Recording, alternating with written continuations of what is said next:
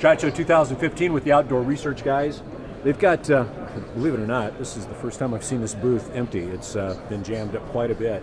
The uh, new lineup from Outdoor Research is going to be this this particular glove. It's the Aerator, and just to give an idea, obviously, I, I think we can uh, make some assumptions that uh, because of the, uh, the pinholes there, it allows for a lot more ventilation. Yeah. Then we also have the Paradigm glove. Paradigm glove, It's a uh, cold weather tactical tight fitting glove. very good, and a, little bit of a. It looks like I could be wrong, but it looks like we've got a little bit of a curvature sewn into the style or sewn into the pattern. Right. Yeah. Oh, great. Um, not necessarily so much on this aerator, it wouldn't be necessary. Actually, you probably wouldn't want that.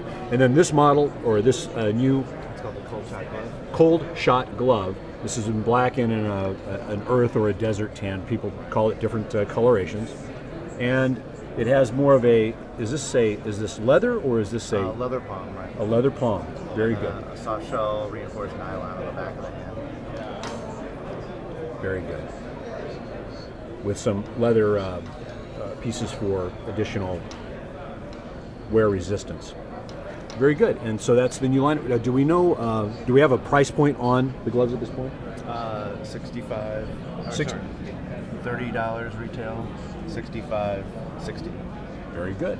And some new things in the lineup from Outdoor Research. Thank you very much.